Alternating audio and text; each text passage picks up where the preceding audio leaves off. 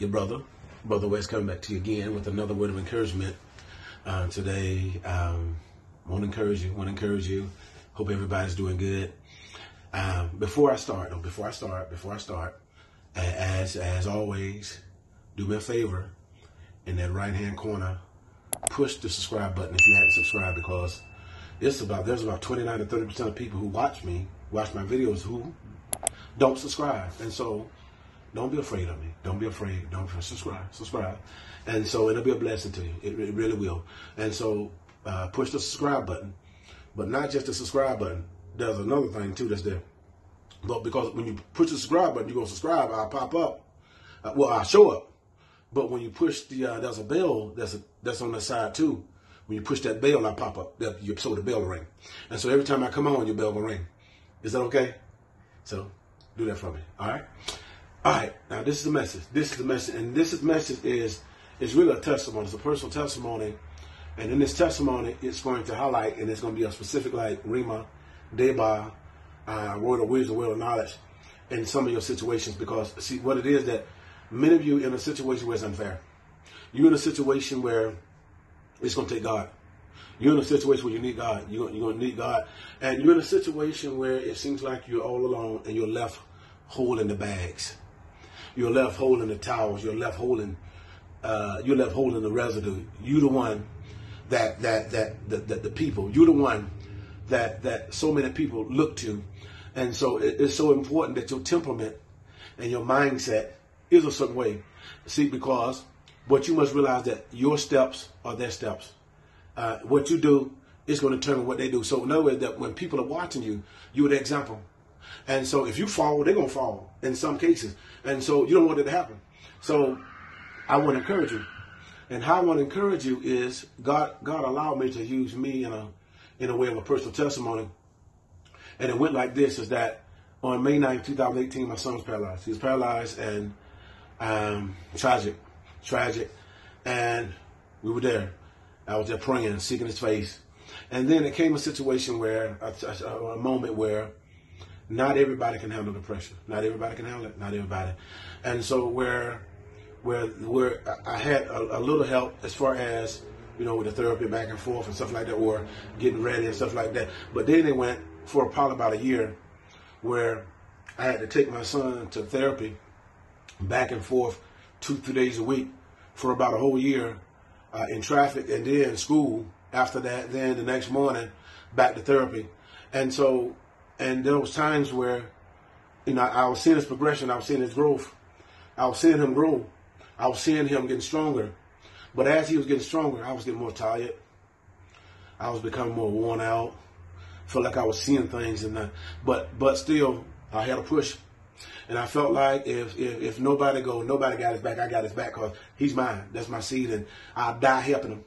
I die, and I felt like I felt like if he couldn't walk, I carry him until he walked. And so for seven weeks when he couldn't move his legs, I massaged for him. I prayed on him. And then when he started moving his legs, he started on his knees crawling. And so, and I told him, he was worried about me. He said, Pops, I'm just worried about you. I said, I'm all right, son. I said, you know, my my excitement is just seeing you walk. See, because it's in my, I ain't gonna let, you know, I'm, I'm in my, I'm, it's myself. He's only 13 years old. He got his life in heaven. And, and first of all, the thing that really got me when my son was paralyzed was that, you know, as a prophet, you know, I'm saying to myself, why did I not see it? Why didn't I see it? And I took it personal. You know, and so really it, it really it really got my attention. It really got my attention on who God is, what power is, and how to pull what's out of me because for so long it was like I felt like in so many ways concerning ministry and concerning my expression, uh, it felt like the bulldog, now follow me, not the bulldog in the chain, in the chain, and, and, and the bulldog can see other dogs going by free on the other side of the gate. And every day, you know, I see that. Just an example, the bulldog tried to break that chain but couldn't. Then one day that bulldog said, forget that. Enough is enough. And that bulldog found some strength within and broke them chains, broke them. And so, I mean, and, and that, that's what's happened to me. When, when that happened with my son, whatever I was holding back, whatever kind of doubt, it became reckless abandon. It became to a place where I didn't care. I didn't care. I believe God gonna heal my son. I don't care what I'm gonna say, and say I don't care what I, am not afraid to say whatever uh, to to heal my son. And so I was afraid to speak faith. And so what it did, it built my faith up. It built my faith up.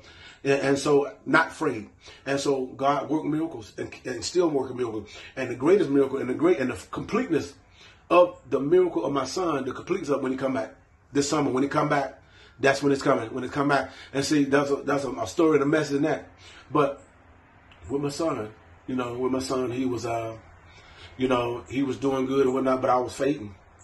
I was fading and tired and stuff like that. Then there came another episode where, uh, there came another episode where, at one time there were people that I leaned on, you know, spiritual father, people that I leaned on for counsel when I felt like, you know, I, my mind went right. I felt like my wisdom, I need just a, a second opinion to balance or to weigh my opinion or weigh what I'm feeling. And so I didn't have that. I didn't have that. And so I didn't know what to do. I'm like, man, God, God. And so I've been to pray, pray hard. And God, God, and God said, hold up, hold up, what you doing? And he said that, let me tell you something. The same God, the same God that I am in them, the same God I'm in you. The same God that, that I'm in uh, uh, my, my, my spiritual father, Apostle Melvin Moulton. It's the same God in me. And God told me, God told me to look within, dig deep. And so that's what I did. And so when no one was around, no one came around, you know, I, you know, I, I was to myself, and um, I just looked within, and I found, I found God. I found the answer. I found Him. I found what I needed from from that from that that, that death place of death. God always replenished my heart because I was always worshiping Him. I was always praying and worshiping, still do, praying and worship Him. That's all I know. And so and so when I do pointing, that's that's a worship too. It's my expression. And so God has blessed me so where I'm able to see words as pictures. And so I'm able to tell the stories. And so that's my offering. And so my message to many of you that you feel like getting up, you feel like it's unfair. Number one, God said He's not putting more on you that you're able to bear, but He'll provide a way of escape. But what God is saying, when you turn in and looking for answers, and you turn and looking to somebody else to help you or give you give you advice or, or give you wisdom on what to do, how to do it. No, no, no. God is saying, God is saying, dig deep. Don't look at them. Don't look on the outside. Look on the inside.